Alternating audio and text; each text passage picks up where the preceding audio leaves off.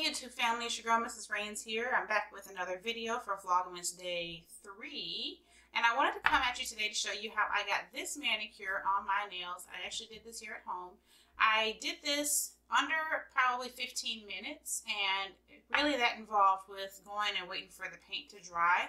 But I did this manicure with no acrylic or anything like that. And the reason why is I wanted something inexpensive that I could do while the house is being renovated. So that way I wouldn't be upset about spending too much money on a manicure. This also gets me kind of through the holidays when I'm going to holiday parties or um, hanging out with family. Because most of my family is used to me looking kind of put together. And to be honest, I'm used to me looking put together. So it's been kind of rough these last few months. But I do want to go ahead and keep my manicure up um, whenever I can.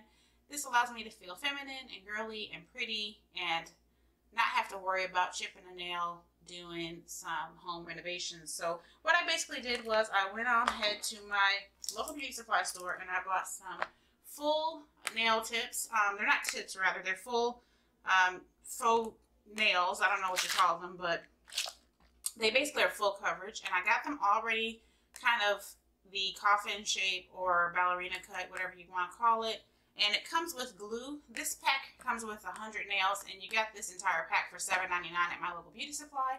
I did find on Amazon you can get a 500 pack of a higher quality nail, and it's only $7.99 as well, so I will be ordering those instead. But I feel like this was a good experience, and I will use these nails, and it allows me to kind of practice on these before I get the higher quality ones. And all I basically did was, the first step was removing all of my dead skin from my cuticles. And I just used a cuticle pusher and a trimmer. Um, this one's by OPI. I'm not sure which this one is from because I have had these things so long, honestly, I couldn't tell you. But it's a really good high quality one that I'm fairly certain I got from a beauty supply store. Um, I also used a fingernail clipper. These again are putridly old, so I couldn't tell you exactly where I got them from. Any fingernail clipper will do, but this is good for trimming the nails down if they're too long for your liking. And then all I basically did was take a piece of tape, like so, and I wrapped it around a cotton swab. This is what a cotton swab looks like. They come in these little containers. And I basically taped it, wrapped the tape around the cotton swab, and I put the nail tip on there this allows me to paint the nail tip without having to have them on my fingernails and wait for them to dry that way. I mean, because I have things to do around the house, obviously. So all I did was put a few coats of nail polish on here, and then I followed that up with some clear top coat. So the nail color of choice is by OPI. That's what that looks like, and the color is called Pale to the Chief. I found this at Marshall's for two ninety no three ninety nine. Don't sleep on Marshalls, guys. They always have this nail polish at the checkout counter, and it's always really pretty colors. And it's a high quality polish that would otherwise cost you nine or ten bucks. And then I topped it off with this top coat. It's called Double Duty by Sally Hansen, and you can find this pretty much anywhere that Sally Hansen products are sold. And I also used this sweet almond oil. I got this from Marshall's for $5.99. You can buy whatever oil you want for your um, cuticles, but you want to make sure you moisturize those after you trim them so you don't get splitting or cracking.